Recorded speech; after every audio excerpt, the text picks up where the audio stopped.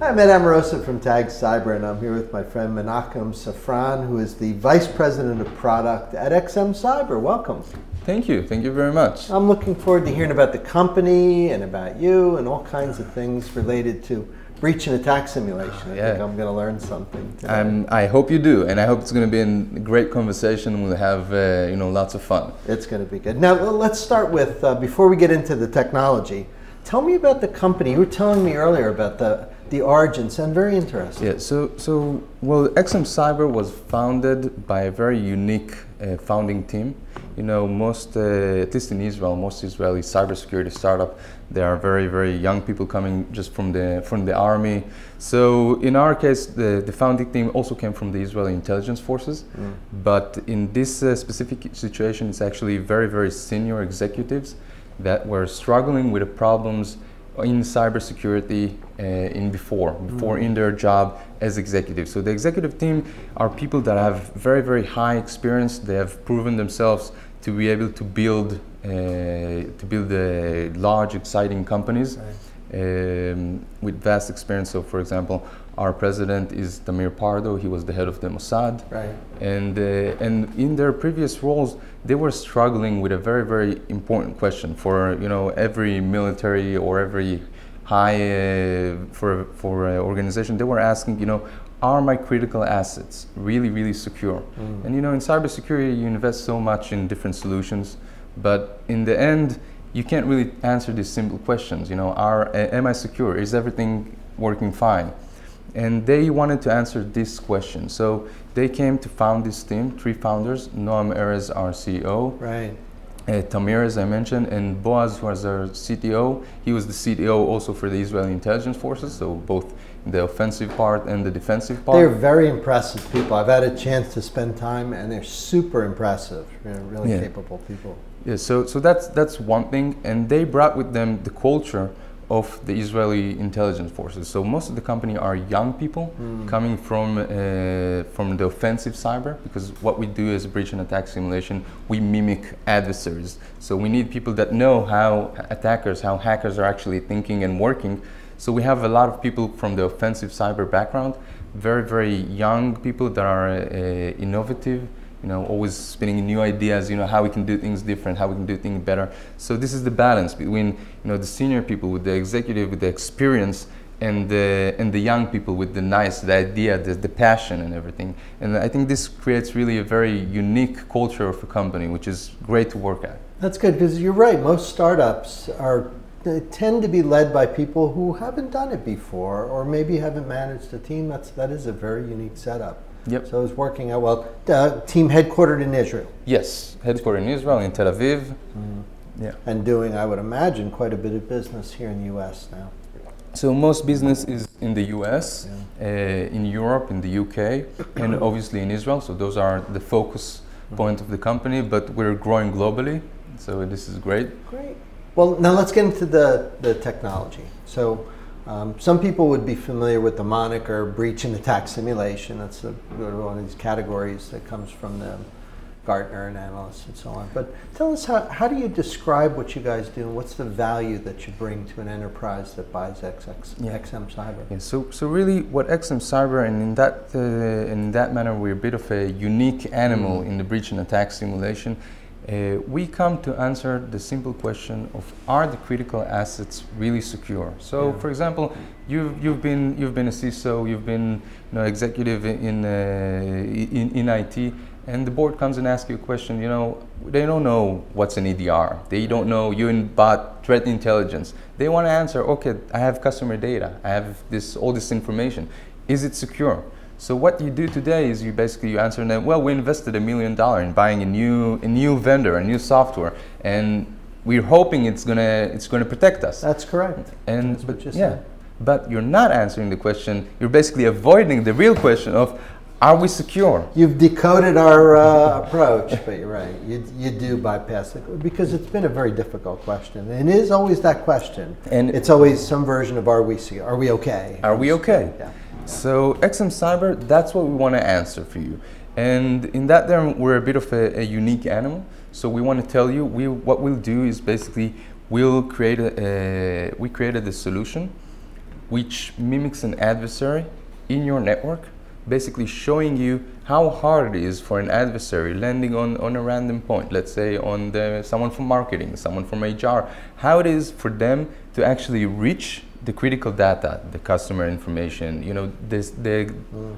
the CEO's computer, for example. You want to answer that question, and you want to answer that question continuously and safely. Okay, so you know today you have uh, you have manual red team exercises, which is great. You do manual red team exercise. You bring this team. They come. They do this large exercise you do it once, twice a year, once a year, you get this huge report. By the time you actually, and, and this is very valuable, but by the time you actually finish understanding and implementing the report, your network is completely different. So we are telling people you need to test all the time, all the time, and gradually improve your, uh, your security posture. So think about it like going uh, going to the doctor once a year and asking him, "Can you please fix me?" versus living a healthy lifestyle. You need to exercise. You need to take care of yourself. You need to always make sure that you are doing things right. So this is what XM Cyber comes to do. Uh, and in that term, I think we're a bit of a unique uh, in the breach and attack simulation. Yeah, makes sense. Now you say control validation a lot. What's control? Is it like a firewall? Oh, is it oh. a, is it an IT thing? Is it what, what, do you mean by that? Okay, so in your network you have different security controls. Security controls be procedures. Yeah. You know, your IT are going to connect to computers using uh, in a specific mechanism. They're not going to use the domain admin for different stuff that they don't require. And it might be solutions. So you might have an EDR, you might do patching, you might do uh, threat intelligence. So you have all those things that's supposed to guard your network. Those are the security controls. And, and really, if you look at the breach and attack simulation market, you see many vendors that are focused on answering this question. Are my security controls properly configured? Mm. And that's a great question. And it's important because obviously if you buy an EDR and it's not configured right, then what's the point? Not configured right means I've purchased something, a next generation firewall or something, and I've embedded it in the network, but it's either the rule set is wrong or it's in the wrong place or it's not connected to the right other system. Is, it, is that what you mean? Exactly. That's it's exactly what I mean. Operator error. Exactly. Okay. So I mean, you have you have this next generation firewall, but if you didn't update the signature, or if you open the port, and then it's it's not really protecting you. Right. So it's good and it's important, and you need to always test that, and that's part of what XM Cyber does. But in contrary to other vendors, uh, by the way, how do you know what the right configuration is? Do you guys have to be the experts? So what we that do seems hard to do. So what we do is basically we're not coming to tell you, oh, you have configured it right. There is the best practices of how you actually configure. We're doing basically we're simulating an adversary, trying to get from a random point right. towards the critical assets, and from that you can start understanding, oh, wait, he managed to make a lateral movement between this network segment and that network segment. So why is that? Isn't, isn't my firewall supposed to block him? Why, why could he connect that way?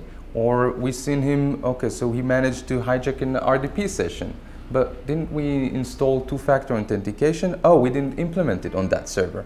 So that's what we're showing. We'll show you the attack vector from the breach point towards the critical asset. So, so like in a retail environment, could they use XM Cyber to convince the the control team, the security team, that say from the intranet or enterprise, you can't see uh, the credit card point of sale machines. Is that is that something you could do? So, so like convince the board, look, there's no way our third parties coming in through a gateway can see so you can POS you, machines. So you can tell the system to start from that segment in the network. Because that'd be pretty valuable, obviously. And, and try to reach. And yeah. it will try. That's what it will do in a continuous and safe manner. So that's obviously very important because, yeah. you know, let's say you're gonna uh, you're gonna come and when you do like manual exercises, red team exercises, you bring a penetration testing uh, firm and they're gonna try to get from that place to the yeah, to right. the PCI segment, and they'll tell you, well, one percent chance that we're gonna crash something. So you can say, well, 1% chance, you know, it's not going to happen for me. I'm not that, I, it's, I'm not going to be that 1%. But imagine that we're telling you now, test every day. So that 1% becomes three times a year. So you have to find a way that you can actually uh, test those things in a way that is completely safe. And then you can come and tell the board, you know, we've actually, we're running a test every day.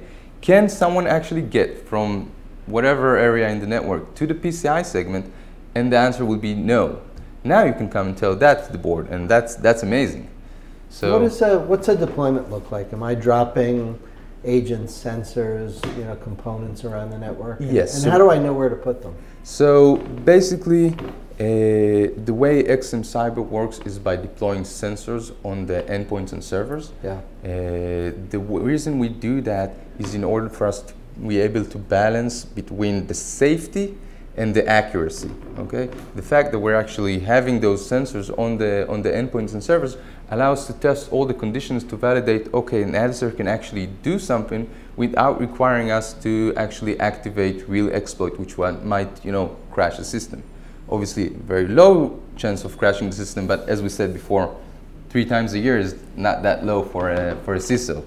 Um, so you'll deploy that usually about 10% of your network at least. Obviously, the more you deploy, the better. Mm-hmm. Um, but uh, what we found out is that if you take about 10%, you know, some servers, some uh, some endpoints, you know, people from IT, uh, you'll get a good accuracy of how what what's my positioning in the network. You will find most of the important attack vectors and most of the issues that you actually need to remediate.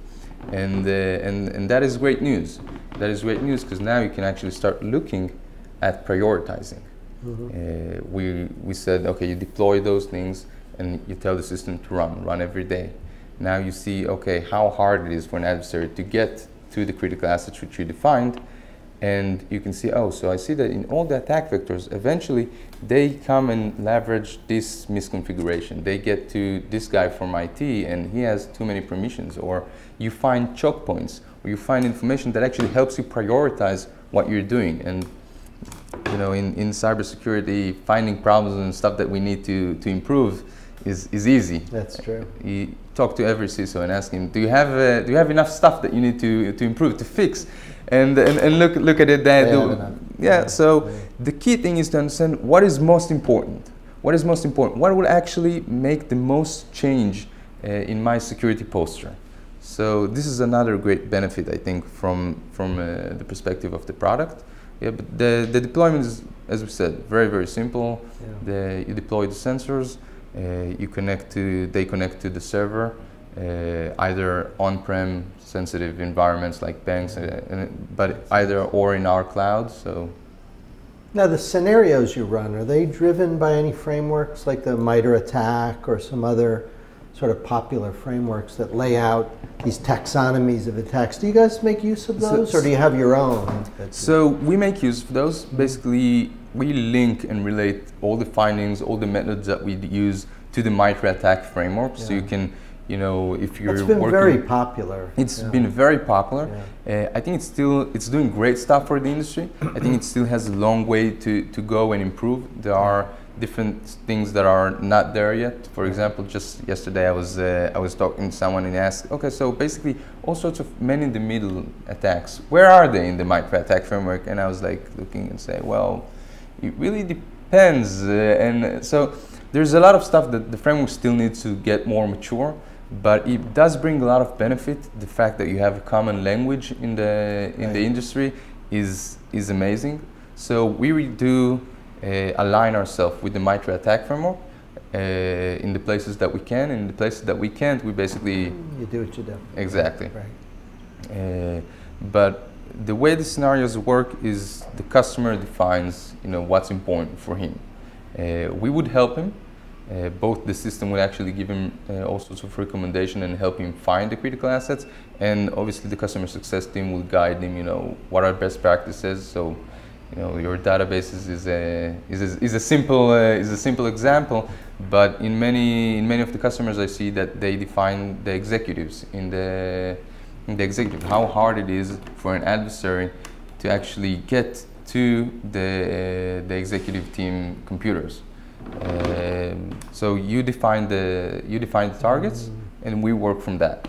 Let me ask you. I, I, I see incredible value in the reachability analysis and visibility to target. I mean, we mentioned a minute ago point of sale and other things. Those are obvious use cases.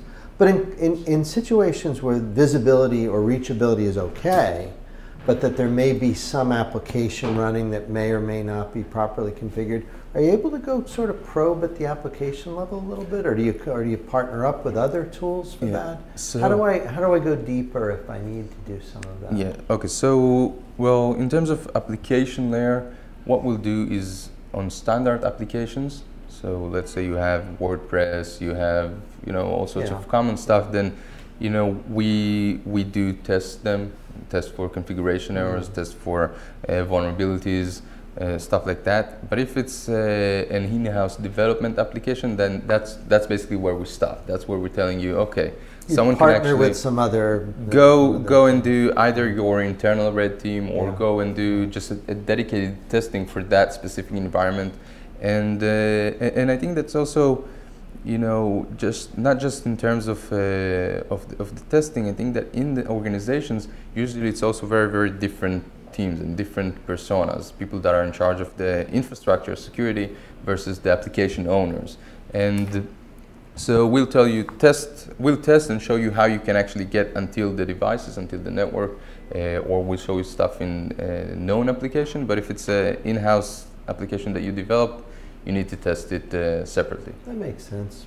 Now, you and I were talking earlier a little bit about um, whether this type of simulation finds its way into the compliance frameworks, because I think we both agree that it's kind of there, but it's not it's certainly not bullseye. Because when the frameworks were written, this was a This was- technology that hadn't really been invented yet. Well, Yeah. what do you think when, when you when you take out your crystal ball and think So, you know, in a uh, few years? Is it what, what's going to happen here? In the future, I believe that those sort of tools are going to be uh, helping and, and be part of the way you do the compliance. Uh, think about it. For example, two two types of uh, things that compliance requirement usually require you is vulnerability management and penetration testing. So, vulnerability management, what usually happens is they ask you, you have a vendor, you work with some kind of vulnerability assessment tool in house, you're testing all the time and you're finding the vulnerability and you're patching and you're doing this continuously. And every, every once in a while, you have an approved vendor that is coming to check if you're actually working correctly. If you're doing if you're doing things right, because we understand you cannot bring an external tester to audit and do the vulnerability management and your entire patch management process and all of that, you know, every day. That's not reasonable. Uh, so you bring every once in a while to just verify that you're working correctly. On the other hand, in the penetration testing, what usually the compliance requirements today ask you is to go and do like once every six months, once every major change. That's another common thing because uh, there were no automation in that in that field. But today, as more and more tools are coming that can actually test the do the same thing that the penetration test that the red team exercises do automatically, you will start having uh, requirements telling you, okay, you need to do this automatically all the time in house. And every once in a while, just like in the vulnerability management, you'll bring an approved vendor to verify that you're working correctly, that you're actually remediating this stuff, you're fixing things, you are using the tools properly. So I believe that will be the way the market will move. No, I hope you're right. That sounds like something that will be very helpful. You know, right now, enterprise teams are struggling so much. It's like e- every day, it seems to get worse, right? It doesn't seem like the defense is catching up much at all. Yeah. To, to my heart. I, I, I think, you know, obviously, you know, both the, the hackers and the defenders are, are making progress, but it's an At easier rates. It's a, it's an easier job for the for the adversaries. They only need to find you know one issue. They need to find a new technique, and the adversaries they need to add more and more security controls. They need to learn more aspects. So it's a much harder task for them. So I think they're both running fast. We, we did a um, cyber range exercise over at NYU. All press Yeah. and writers and reporters are there and they're all going around. There's in the, the defensive room, we have 40 or 50 students there working. In the offense room, two guys. And nobody, I was waiting for someone to say, Boy, two on 40, is that a fair that fight? a and fair- you and I would both say, yeah, that's yeah, about right. it's, it's, that's about it's right. exactly because they need to find defenders. they need to find their one path where nobody looks. Yeah. And you need to actually make sure that you block all the different entrance, that you are monitoring everything, that the stuff that you Yeah. cannot actually block, that you actually detect, you know, that you'll catch them when they're trying to sneak in. Yeah. And it's a much harder job. Well, I appreciate you stopping by. I know you know New York well. You went to high school near in the D.C. area, so Yep. you know this, you know this area. Well, as you guys make progress, you come back and share with us again. Definitely. Good. You're definitely. welcome here anytime. Great. Thank it you very much. It was just wonderful seeing you. Yep. Great. You too. And we will see you next time.